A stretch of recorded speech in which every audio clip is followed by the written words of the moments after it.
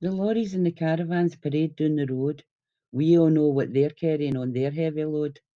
The excitement is mounting, there's joy in the air. The shows they are coming for the All Glasgow Fair. We lived in Mill Street a stone's throw away, and we waited as they built it to finally one day. The shows they were open for Glasgow to come with their families and friends for a wee bit of fun.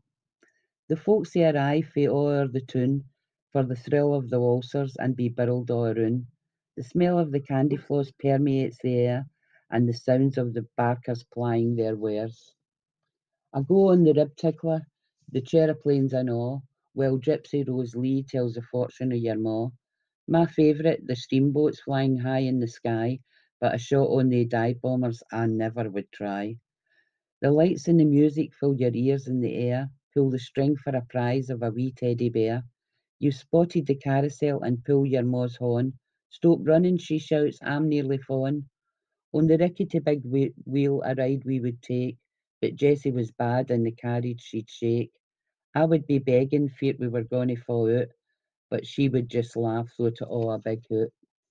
Coconuts were cracked and we sucked up the milk, and the man at the ring the bell looked like the Hulk. When bumped on the dodgems, you let out a squeal, and the thrill in your stomach coming down the big wheel.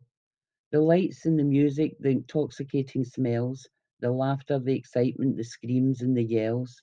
You wish you could stay in a caravan tay and go with the shows forever and a day. But all too soon it's time to go home. When the shows go away, it'll no be the same. I wish I could go back there to feel that wee glow when my mammy took us to visit the shows.